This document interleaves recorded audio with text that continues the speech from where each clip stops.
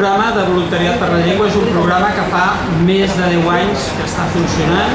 Uh, pràcticament estarem, l'any que ve estarem, em sembla que als 15, uh, i han passat moltes persones, molts voluntaris, molts aprenents i moltes persones que ens han agraït moltíssim a l'haver tingut aquesta oportunitat perquè han gaudit del programa, han, han gaudit de conèixer altres eh, cultures, altres persones, altres maneres de pensar, altres costums i eh, s'han enriquit tant la parella eh, de voluntaris com els aprenents. Tothom al final eh, ha gaudit molt i ens han agraït i fins i tot hi ha molts voluntaris que repeteixen Probablement alguns de vosaltres no és la primera vegada que participeu en una parella de voluntariat lingüístic. En aquest cas, també avui vull ressaltar que des del Centre de Normalització i des de les delegacions, el professorat, tothom està implicat en el programa. El professorat incentiva que els alumnes, a part del que puguin aprendre a l'aula, puguin parlar, puguin eh, trobar un entorn que els hi sigui propici per parlar, per eh, practicar la llengua amb una altra persona que se l'escolta, que l'ajuda, que li parla en català i, eh, i per tant, des de les aules eh, el professorat incentiva aquesta participació al programa, tant amb persones que puguin fer de voluntaris, que també n'hi ha, i també n'hi ha alguns que formen part i que estan estudiant català, però que ja tenen la preparació o la, les ganes de poder ajudar a uns altres que també l'estan aprenent. I aquesta, eh, aquesta és la gran riquesa.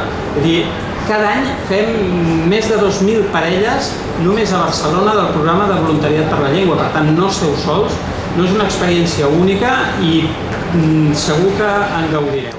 Jo. Eh? I hi ha una etiqueta. No, hi ha una etiqueta vull enganxada a la fotografia, sí o no? Val.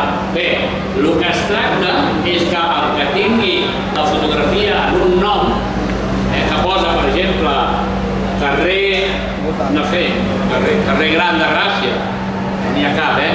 Ha de buscar el, el seu partner, el seu acompanyant, que porta una altra fotografia que posa carrer Gran de Gràcia, n'hi ha cap, eh? Aquesta serà que un carrer que ho acaba de dir, però no vull dir-ho, i que vosaltres mateixos us autotrobeu eh? i sabreu quina és la parella. Després continuarem la festa. Moltes gràcies. Bueno, la cosa més important de l'acte ja està feta, eh? Ja esteu junts, ara toca que us doneu els telèfons, horaris, on trobar-vos, què fem.